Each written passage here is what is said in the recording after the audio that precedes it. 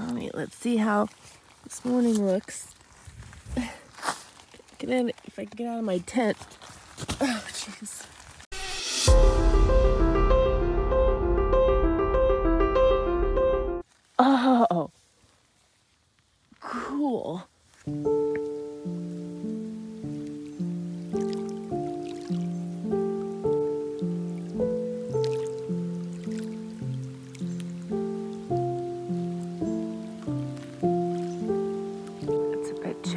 For me still.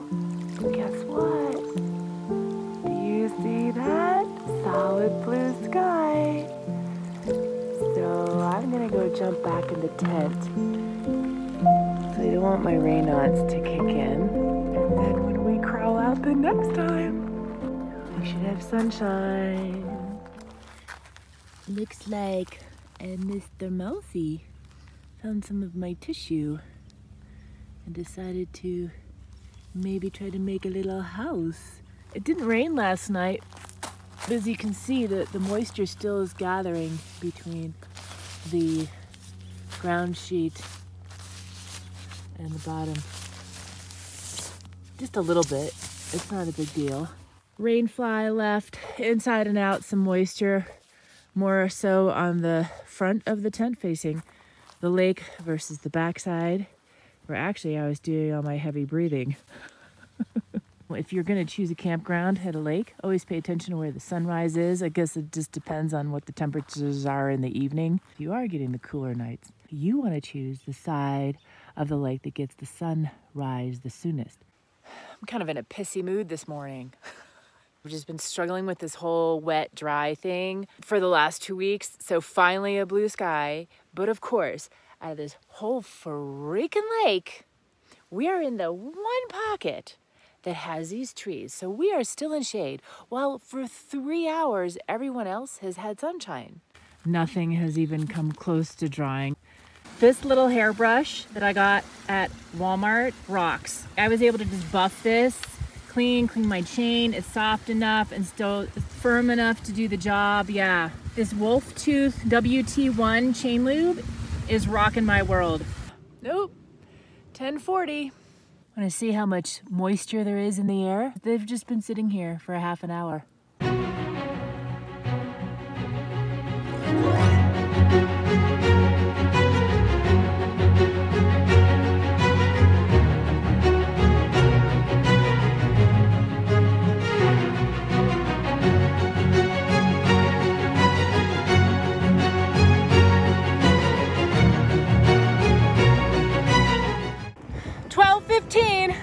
What it is. I don't think last year I cared when I got out at noon.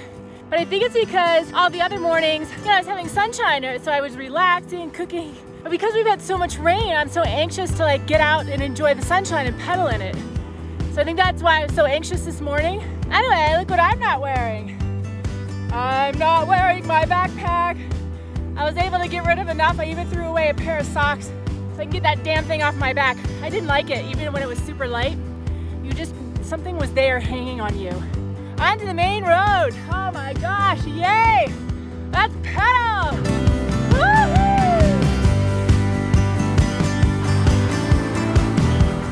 Let's go check out Pettit Lake. But let's pull over and wait until all these people get further ahead see this one has really striking mountains with those same little things trickled around the shoreline. Those little four feet tall things. wow, there's lots of them. Look at this one. I love this one.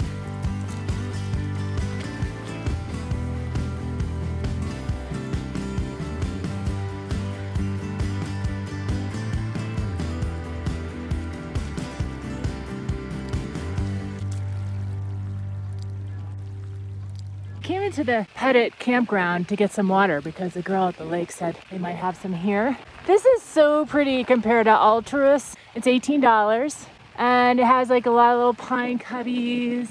The dust is very dry, so I recommend getting like a spot either at like a turn in the road or step back in because it just flows all over. Saturday, there seems to be camp spots available, but we had all this rain, so I bet a lot of people canceled their plans. Ooh, are you the camp host? Oh, yay, I have a question for you. Oh, I'm so glad I saw her because I went by this. I didn't see it because the cars are blocking it. Water, yay. Okay, so I probably should have showed you the sawtooth map earlier. See this strong yellow green mark? You can't horseback ride, dirt bike, or mountain bike inside this area. It's hike only. Last night, we went to Alturas Lake, 7,000 feet. We slept like right there. Okay, and I went back on pavement. Now we're up here at Pettit. What I'm trying to do is, I was asking if, if I'm allowed to, because it kind of brushes the border, if I can just take this trail and come and spit out here instead of going back and taking pavement. She said yes. Then what we'll do, just sort of stay off the freeway and take this along the Salmon River and cut here onto Redfish Ridge. It's a blue, so it means it's easy and you are allowed to mountain bike it over to Redfish Lake. And we're on our way to Yellow Belly. Look, oh, this is nice. I've never actually done this with a mountain bike with packs on it, so we're probably gonna do a fair amount of hike a bike, but that's okay. It's beautiful out. Wow. Oh goodness, how spectacular is that? How not spectacular is this? oh yeah, baby. Música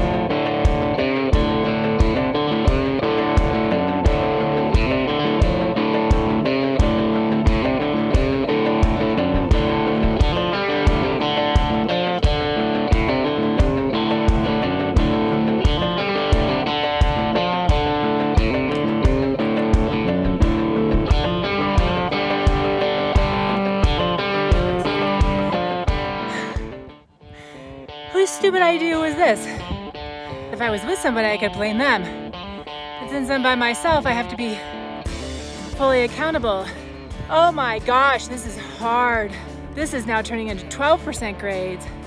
Yeah, let's just take a little, little side trail, just get off pavement, even though it's just, just joyful in pavement. This is probably similar to like the single track sections of the Idaho Hot Springs route. By the way, these shoes, you know, last year my Keens were super slippery. These uh, Akitas, I don't know, they were just some brand off Amazon. Wow, night and day. These are awesome.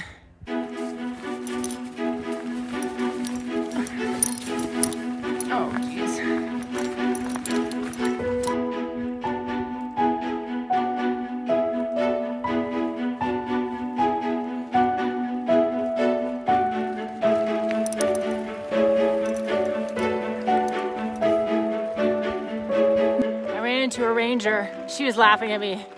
What are you doing back here on a bicycle with bags on it? You know those things in life when you just make a decision and you realize how incredibly stupid it was? This is one of them, you're witnessing it. I turned around, I'm coming back on this other lake because there's more climbing and I can't do more climbing with all the rock. Wow, this is a gorgeous lake too. Oh my gosh, it's like swimming pool water. Oh.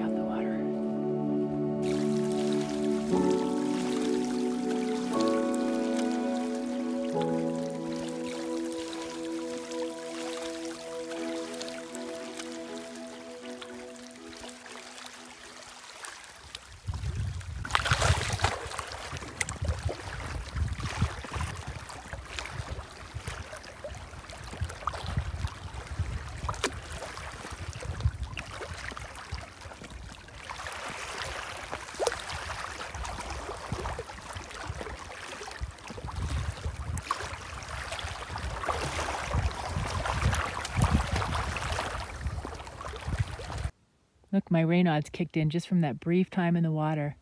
See all the white in my fingers? It happens in my nipples too, but it, I need to be like in the cold for a while. And let me tell you, that is incredibly painful. It doesn't really get painful in my fingers. You would think with all the time at the beach that I wouldn't want to just sit here and do nothing. Getting in this cool water and getting water over the top of my head. Just felt so nice. It's still here and now I just put some lotion on. It's quiet. The sun, the baking in the sun feels so good. I'm usually so sensitive to like my skin to protect it, but I just don't care right now. I just bake on. I am gonna pedal because I feel like I'm not making, I'm not, I'm not like getting any distance in at all my rack setup did not miss a beat. Even though we were going slow, we were coming down huge rocks. I mean, this thing bounced like crazy. There was a lot of swaying back and forth of the bike. I mean, I am so happy with this. I can't even tell you. Uh, well, I mean, I guess I just did. It is so nice to have clean hair. Oh, fluffy. Rinsing all the road dirt out of it. Simple pleasures in life. So the ranger said that the road is really gnarly leaving here. It's probably around five o'clock now. We're gonna head towards the Salmon River. She said there's a lot of dispersed camp camping along the Salmon River. I'm gonna show you something amazing. Something I've never seen before. Are you ready? A river of rock. I'm wondering if this is from a lava flow. I mean, isn't that how these things happen? This is super cool. This was worth doing that whole hike a bike up the rocky cliff. Well, as was that awesome jump in that beautiful spot that I just had. We're finally leaving.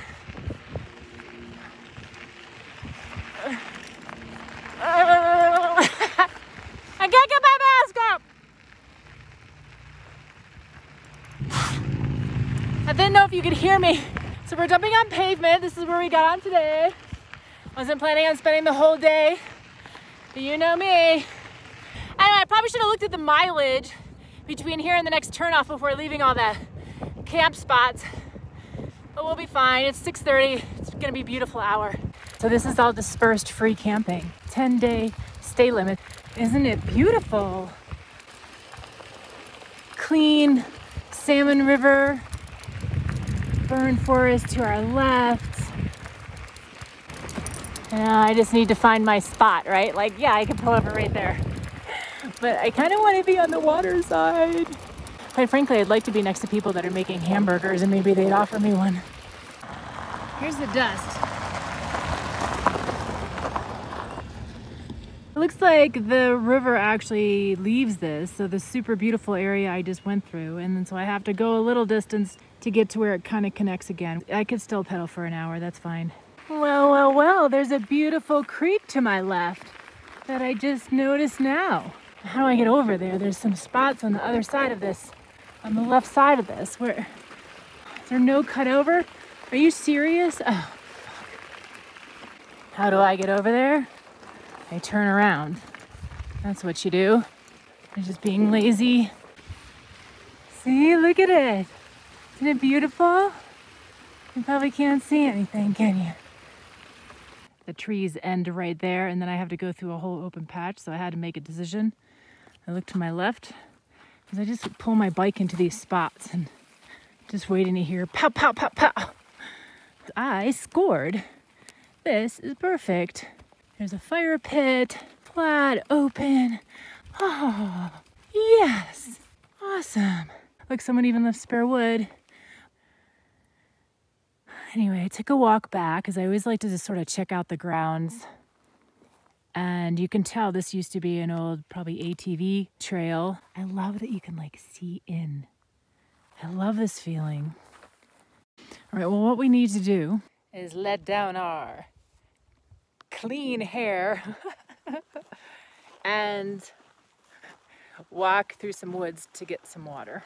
Even the ground is soft to walk on. It's like marshmallow there's a lot of little critters here, rodent type creatures here, and they love to chew through things.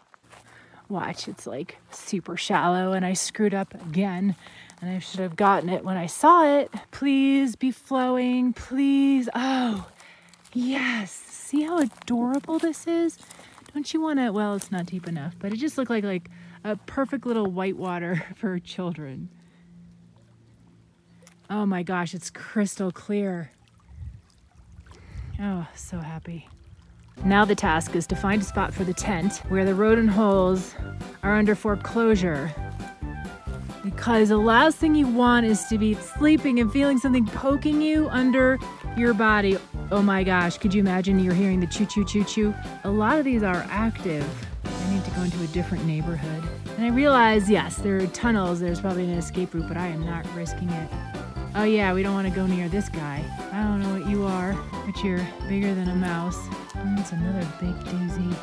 I don't want to be near you. Gosh, everywhere. I'm not sure if I showed you this already, but this is my Sea to Summit waterproof cinch sack. I think it's a large. This is my camping stuff. When I'm riding my bike, it's raining or mud, you know, I want to cover it. So that's where the black sack comes in handy. So I put this inside that. And then inside this, I put my ground sheet or I think it's 10 pounds. That's all my warm sleeping stuff. And I have more than most because of my Raynaud's.